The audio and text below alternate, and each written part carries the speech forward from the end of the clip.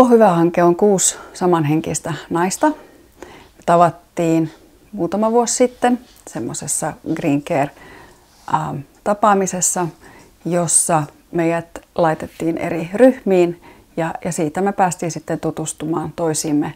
Ja myös matkan varrella on tullut muutama lisää.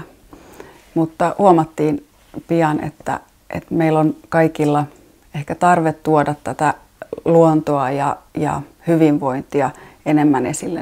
Itse asiassa mä otin yhteyttä silloin ProAgriaan ja kysyin, että mitä tämä tarkoittaa käytännössä ja sitten ne kertoi sen.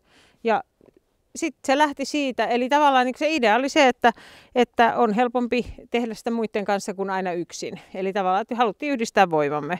Ja silloin niin kuin eläinavusteinen ja luontoavusteinen toiminta oli vielä vähemmän tunnettua kuin mitä se on nyt. Ei se vieläkään ole kauhean tunnettua, mutta silloin se oli vielä paljon vähemmän tunnettua. Ja nyt on sen jälkeen tullut jo tosi paljon tutkimustietoa näistä aiheista, mitä ei silloin vielä edes ollut.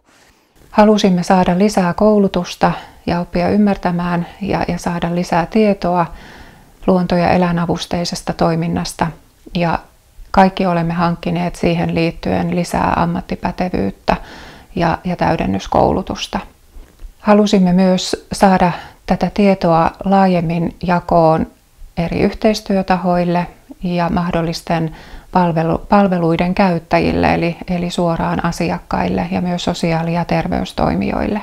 Tällaisesta yritysryhmähankkeesta voi olla erilaista hyötyä yrittäjälle ja mitä mä näen, että mitä tästä on omalle yritykselle ollut hyötyä, niin tästä on ollut äh, mainosarvoa, että meidät on nähty sit ryhmä, ryhmässä tai ryhmänä paremmin kuin, niin kuin yksin. Ja sitten me ollaan yhdessä voitu suunnitella erilaisia tapahtumia, mihin ei olisi ollut muuten mahdollisuuksia. Ja, ja muutenkin tämä on tuonut sitten semmoista lisää verkostoja ja sitä yhteistyötä yritysten kesken ihan eri tavalla kuin mitä mä olisin yksin voinut sitten tehdä.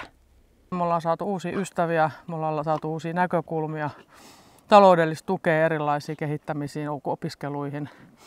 Ja, ja tota noin, niin, niin kaikkein parasta on ollut se, että on ollut samanhenkisiä ihmisiä, jotka ymmärtää pienyrittäjyyden haasteet ja ilohetket. Just ihan se, että on päässyt kaikenlaisiin koulutuksiin, mihin ei varmaan olisi muuten tullut lähettyä monestakaan syystä.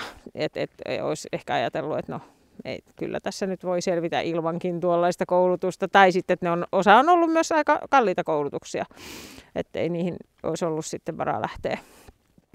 Ja sitten tietenkin se verkostoituminen, se on ollut kyllä semmoinen niinku, ehkä tärkein homma tässä, että, että tutustuu ihmisiin. Ää, meillä on tosi hyviä ideoita yksilöinä ja sitten kun me vielä laitetaan ne yhteen, niin siitä syntyy tosiaankin hyvää. Luodaan hyvää siis. Ja mä suosittelen tämmöistä yritysryhmähanketta kaikille yksinyrittäjille ja kaikille sellaisille, ketkä on tuomassa ihan jotain uudenlaista konseptia tai palvelua markkinoille. Et yritysryhmän kautta on mahdollisuus just verkostoitua erilaisten yrittäjien kanssa ja tehdä sitä tiivistä yhteistyötä.